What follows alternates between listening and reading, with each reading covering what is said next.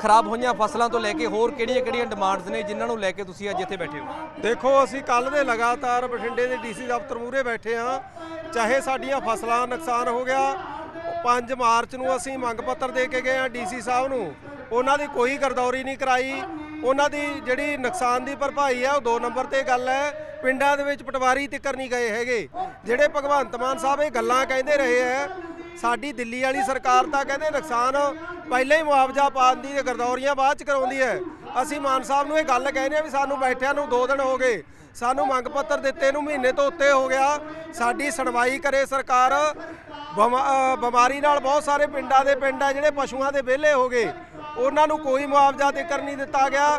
ਘਰਾਂ ਦੀ ਆਰਥਿਕਤਾ ਡਾਮਾਡੋਲ ਚੱਲ ਰਹੀ ਹੈ। ਇਹਦੇ ਨਾਲ ਹੀ ਗੈਸ ਪਾਈਪਲਾਈਨ ਦਾ ਹੋਇਆ ਸਮਝੌਤਾ। ਪੂਰੇ 10 ਮਹੀਨੇ ਹੋ ਗਏ ਹੋਏ ਨੂੰ। ਉਹ ਲਾਗੂ ਨਹੀਂ ਕਰ ਰਹੇ, ਲਗਾਤਾਰ ਮੀਟਿੰਗ ਸੱਦ ਲੈਂਦੇ ਆ।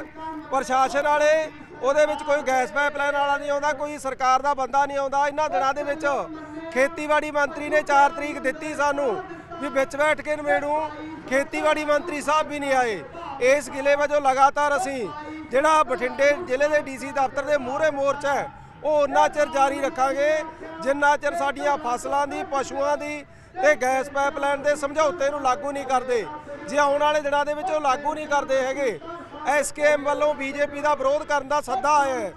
ਪਰ ਸਾਡੇ ਲੋਕਾਂ ਵਾਸਤੇ ਇੱਕ ਸਵਾਲ ਬਣੂ, ਪੰਜਾਬ ਦੀ ਸਰਕਾਰ ਮੌਜ ਨਾਲ ਪਿੰਡਾਂ 'ਚ ਫਿਰੂ, ਇਹਨਾਂ ਵਾਸਤੇ ਮੁਸੀਬਤ ਬਣੂ, ਅਸੀਂ ਸੀਐਮ ਸਾਹਿਬ ਨੂੰ ਬੇਨਤੀ ਕਰਨੀ ਚਾਹਾਂਗੇ।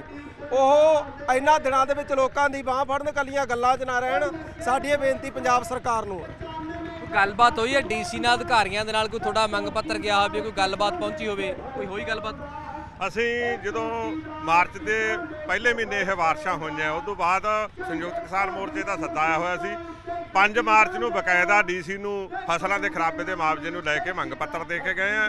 ਪਰ ਅਜੇ ਤੱਕ ਸਰਕਾਰ ਨੇ ਇਹਦੇ ਤੇ ਕਿਸੇ ਕਿਸਮ ਦਾ ਧਿਆਨ ਨਹੀਂ ਦਿੱਤਾ।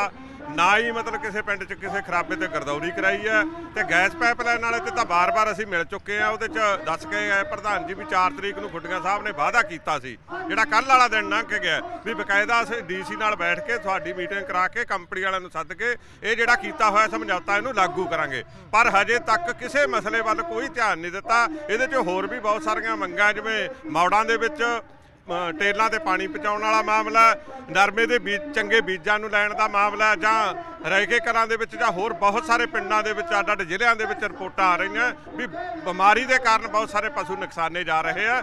ਅਜੇ ਤੱਕ ਮਤਲਬ ਕਿਸੇ ਯੂਨੀਵਰਸਿਟੀ ਦੇ ਡਾਕਟਰ ਨੂੰ ਵੀ ਨਹੀਂ ਇਹਨਾਂ ਬਿਮਾਰੀਆਂ ਦਾ ਭੇਤ ਆਇਆ ਤੇ ਸਰਕਾਰ ਨੇ ਕੋਈ ਉਹਦੇ ਤੇ ਧਿਆਨ ਨਹੀਂ ਦਿੱਤਾ, ਕੋਈ ਗੌਰ ਨਹੀਂ ਕੀਤੀ।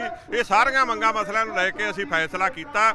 ਮੋਰਚਾ ਲੱਗਣ ਤੋਂ ਪਹਿਲਾਂ ਅਸੀਂ 4-5 ਦਿਨ ਬਕਾਇਦਾ ਇਹ ਵੀਡੀਓ ਪਾ ਕੇ ਐਲਾਨ ਕਰਿਆ ਸੀ ਵੀ ਜਿੰਨਾ ਚਿਰ ਇਹ ਸਾਰੀਆਂ ਮੰਗਾਂ ਤੇ ਧਿਆਨ ਨਹੀਂ ਦਿੱਤਾ ਜਾਂਦਾ, ਉਹਨਾਂ ਚਿਰ ਅਸੀਂ 4 ਤਰੀਕ ਤੋਂ ਲੈ ਕੇ ਲਗਾਤਾਰ ਇਹਦੇ ਤੇ ਪਹਿਰਾ ਦੇ ਕੇ ਜਿੰਨਾ ਚਿਰ ਇਹ ਮਸਲੇ ਦਾ ਹੱਲ ਨਹੀਂ ਹੁੰਦਾ, ਉਹਨਾਂ ਚਿਰ ਅਸੀਂ ਬੈਠਾਂਗੇ ਤੇ ਨਾਲ ਇਹ ਵੀ ਚੇਤਾਵਨੀ ਦਿੱਤੀ ਹੈ, ਜੇਕਰ ਫਿਰ ਵੀ ਸਾਡਾ ਇਹ ਮਸਲਾ ਨਾ ਹੱਲ ਹੋਇਆ, ਸਾਡੀਆਂ ਮੰਗਾਂ ਤੇ ਧਿਆਨ ਨਾ ਦਿੱਤਾ, ਠੀਕ ਹੈ, ਚੋਣਾਂ ਦਾ ਵਰਾ ਹੈ। ਤੇ ਇਹਨਾਂ ਨੇ ਸਾਡੇ ਪਿੰਡਾਂ ਵਿੱਚ ਆਉਣਾ ਹੈ। ਫਿਰ ਉਦੋਂ ਅਸੀਂ ਹਿਸਾਬ ਕਿਤਾਬ ਪੁੱਛ ਲਾਂਗੇ ਕੀ ਭਾਅ ਵਿਕਦੀ ਹੈ। ਇਸ ਕਰਕੇ ਸਾਡਾ ਤਾਂ ਇਹੀ ਫੈਸਲਾ ਵੀ ਇਹ ਸਾਡੇ ਮਸਲਿਆਂ ਦਾ ਫੌਰੀ ਹੱਲ ਕੀਤਾ ਜਾਵੇ। ਵਿਰੋਧ ਦੀ ਗੱਲ ਕਰਦੇ ਆ ਇਕੱਲੇ ਬੀਜੇਪੀ ਦਾ ਵਿਰੋਧ ਕਿ ਹਰੇਕ ਲੀਡਰ ਦਾ ਵਿਰੋਧ ਕੀਤਾ ਜਾਊਗਾ? ਜਿਵੇਂ ਤੁਹਾਡੇ ਸਾਥੀ ਨੇ ਗੱਲ ਕੀਤੀ ਕਿ ਅਸੀਂ ਪਿੰਡਾਂ ਚ ਆਉਣਗੇ ਤਾਂ ਵਿਰੋਧ ਕਰਾਂਗੇ। ਦੇਖੋ ਬੀਜੇਪੀ ਦਾ ਸਕੀਮ ਵੱਲੋਂ ਵਿਰੋਧ ਜਾਰੀ ਕਰਨ ਦਾ ਐਲਾਨ ਹੈ।